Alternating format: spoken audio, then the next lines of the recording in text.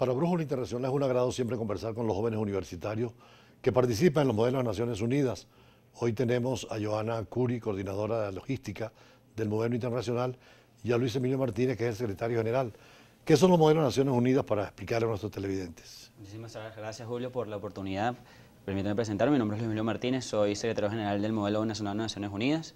Prácticamente los modelos de Naciones Unidas son catalizadores de vida para los jóvenes venezolanos actualmente. Son estas convergencias de debate internacional a través de temas internacionales que llevan a cabo actualmente, se llevan a cabo acá en Venezuela y bueno, y prácticamente con, con, con todas las, las, dinámicas a través de debates y a través del el choque de las ideas se van llevando a lo que serían las nuevas, a las nuevas cosas a través de... ¿Cuántos años tienes tú en los modelos de Naciones Unidas? Aproximadamente, puedo decir con gran honor que tengo cinco años entre los modelos de Naciones ¿Cómo. ¿Cómo se inició ese proceso?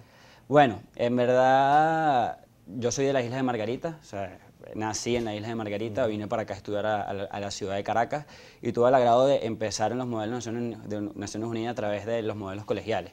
Luego poco a poco me fui desarrollando y bueno, claramente logré llegar a lo que, lo que serían los modelos de Naciones Unidas universitarios, que serían como las grandes, las grandes ligas de los, de los modelos de Naciones Unidas y gracias a Dios hoy aquí todavía sigo con esto. Y en el caso de la secretaria, señorita Curi, ¿cómo se inició? Bueno, este es mi segundo año en Modelo de Naciones Unidas y este, me siento muy orgullosa por formar parte del staff de Moveno Internacional junto a Luis Emilio y básicamente mis funciones son de logística, organizar los comités, coordinar con otros, este, otras coordinaciones, pues temas como el financiamiento, las inscripciones y cómo se va a llevar a cabo el modelo este año. ¿En tu caso has participado en otros modelos? Este, sí, por supuesto, eh, como integrante de la MONUCAP y este año directiva pues asistimos a lo que viene siendo nuestra competencia final MONUA junto pues a la MONUCB también, que fue en Bogotá pues en marzo de este año. ¿Cuántas universidades participaron en Bogotá? Todas las universidades nacionales de Bogotá, más las más importantes de Venezuela, como son la Universidad Católica, la Central, la Simón, la Metropolitana y muchas otras pues que también tuvieron eh, vida ahí, al igual que otras extranjeras como por ejemplo de Argentina, que también pues este, tuvieron lugar o vida en ese modelo como, como participantes. ¿Qué experiencia en un, en un evento internacional sacas? Bueno, mucho más allá del, aprendizaje, porque uno va muy preparado y se esfuerza pues durante lo que vienen siendo siete, ocho, nueve meses arduos aquí en Venezuela para llegar hasta allá, más lo que implica pues el, sacrificio propio de nosotros como jóvenes venezolanos para poder alcanzar este tipo de metas. También uno se lleva una retroalimentación de lo que vienen siendo también los delegados pues de, de Colombia y de otras delegaciones este, extranjeras del cual uno pues tiene tiene contacto en este tipo de, de, competencias. En tu caso, ¿qué carrera estudias? Eh, estudio estudios internacionales en la Universidad Central de Venezuela. ¿Cómo compartir la agenda universitaria con los modelos? Bueno, claramente es una, una cuestión de dedicación, es una cuestión de estar todos los fines de semana enfocado tanto en los estudios y poder, como decir, homologar todo esto correspondiente a lo que, lo que son los estudios universitarios y los estudios a través del modelo de Naciones Unidas. Por lo menos en mi carrera, en mi caso, se me hace un poco más sencillo porque, bueno, tienen relación. Pero bueno, aquí vemos estudiantes de medicina, vemos estudiantes de ingeniería, estudiantes de biología, estudiantes de matemática, que en verdad lo que tienen que hacer es simplemente es enfocarse en ese estudio diferente para poder lograrlo dentro de los modelos Unidas. Las materias fundamentales que los entrenan, ¿cuáles son?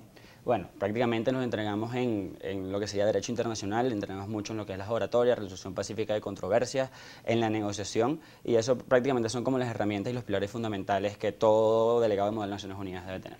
Ahora, Joana, ¿este modelo es especial el que van a hacer? Por supuesto. Este, Moveno pues tiene realizándose en Venezuela, este, esta es la decimoséptima edición de Moveno, y va a tener lugar en octubre, del 9 al 12 de octubre, son cuatro días, es una competencia bastante larga o más larga de lo que están acostumbrados pues los jóvenes venezolanos en modelo de Naciones Unidas y por eso pues requiere mayor esfuerzo. Aquí pues simplemente van a converger lo que viene siendo cada uno de los modelos de Naciones Unidas, no solo de las universidades en toda Venezuela, sino también incluso modelos colegiales para que puedan irse introduciendo a lo que viene siendo los modelos de Naciones Unidas pues universitarios. ¿Cómo están haciendo para convocar a esa universidad y colegios? Bueno, la primera fase de inscripciones ya culminó, está cursando la segunda fase de inscripciones que culmina el 20 de agosto. A partir del 21 de agosto tiene lugar la tercera fase de inscripciones hasta el 12 de septiembre. A lo largo pues, de todos estos días, eh, por medio de lo que viene siendo nuestra cuenta de Instagram, que es arroba moveno, pues los interesados, los eh, jefes de delegaciones y demás, se inscriben mediante un formulario virtual donde pues este, van a poder, además de pagar la inscripción, participar en este modelo. Hasta septiembre tienen lugares las inscripciones. Luis Emilio, eh, ¿qué universidades están convocadas hasta ahora? En verdad están convocadas todas las universidades del circuito nacional de las Naciones Unidas.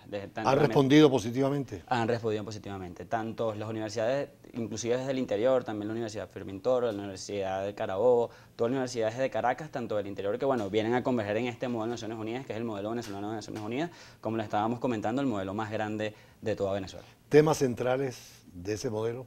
Eh, en verdad contamos con, cinco, eh, con seis coordinaciones específicas de tanto Asambleas Generales, las agencias especializadas de Naciones Unidas, y vamos a tocar temas desde las crisis de petróleo, bueno, temas históricos como la crisis de petróleo en 1998, vamos a tocar temas como las guerras de las Coreas, las guerras del Ártico, también como, bueno, temas de, innovación como es la, cuarta revolución industrial, también vamos a tener temas específicos eh, de crisis donde, bueno, entraremos en aquellas coyunturas para resolverlas de otra manera.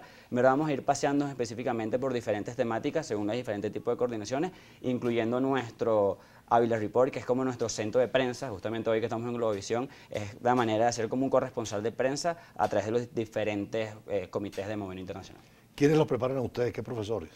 Eh, prácticamente la preparación de nosotros viene dada eh, específicamente a través de nosotros mismos. Eh, lo bonito de Movimiento Internacional es a que esta preparación metodológica práctica que nosotros le damos a todos los estudiantes y es por eso que bueno, nosotros estamos aquí hoy y también, como decir, dándole ese empujón, ese pequeño empujón a estos, estos nuevos líderes y a estas nuevas como decir, a estas nuevas generaciones que lo hagan, debido a que a través de este proyecto metodológico práctico, a través de la oratoria, a través de la negociación, vemos cómo esa generación nueva se va proyectando poco a poco nuevamente. Pues no, no, tenemos una práctica específicamente con profesores, sino que nosotros mismos a través de nuestra experiencia y, regenerando vamos haciendo todo esto. Joana, ¿cómo ha sido la historia de los modelos en Venezuela? Yo diría que cada vez es más positivo los resultados que se obtienen en estas competencias. Sobre todo este año creo que hasta el momento se ha logrado lo que queríamos pues plantear en un inicio como Venu, que es dejarlo como una, una simple competencia y transformarlo en lo que hoy lo vemos como una marca, un hito histórico en lo que viene siendo este punto de convivencia con todos los modelos de Naciones Unidas y es algo pues que todos los modelos universitarios y colegiales esperan este año, poder asistir a Moveno Internacional. ¿Qué diferencia con otros países con sus modelos?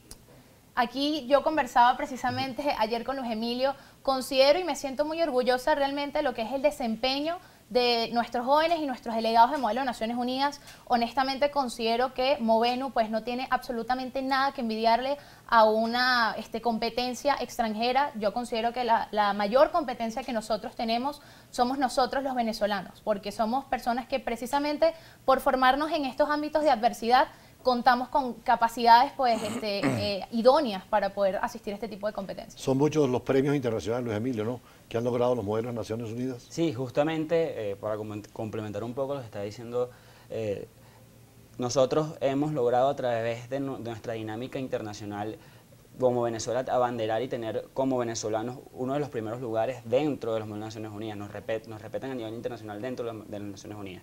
Y específicamente hablando de Movenu, hemos establecido diferentes líderes dentro de esta organización, de que han salido alcaldes, de que han salido empresarios, de que han salido líderes sociales, y esto más que todo la conciencia que queremos dar de personas que llevan una conciencia social establecida para las futuras generaciones. Y sí, y que siga obviamente siempre bandeando la bandera tricolor como primer lugar en, en, manera internacional, como se ha hecho en Harvard, como se ha hecho en Bogotá, como se ha hecho en Lima, como se ha hecho en los distintos modelos internacionales, donde siempre nuestro tricolor siempre ha quedado en primer lugar, gracias a Dios.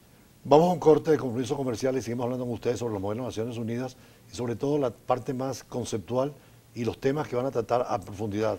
Ya regresamos.